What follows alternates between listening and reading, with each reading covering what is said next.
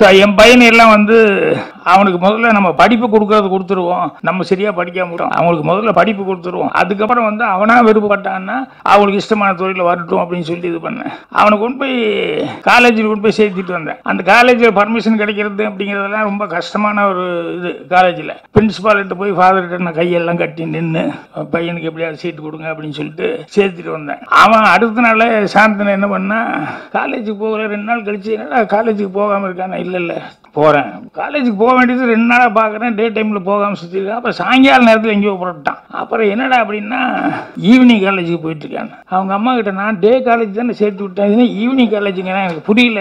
தப்பாக கொடுத்துட்டாரா இல்லைங்க அப்படி என்னென்ன இல்லை சத்யராஜ் பையன் சிபி அவன் வந்து சினிமாவில் நடிக்கும்போது அவனுக்கு வந்து அதுக்கப்புறம் டிகிரி எடுக்கணும்னு நினைச்சான் அவன் சினிமாவில் நடிச்சது ரெண்டு மூணு வருஷம் ஆகி போச்சு அதுக்கப்புறம் மறுபடியும் அவன் டிகிரி எடுக்கணும்னு சொல்லி போய் படிக்க சொல்லும்போது காலேஜில் கொண்டு போய் சேர்த்தும் போது எல்லாம்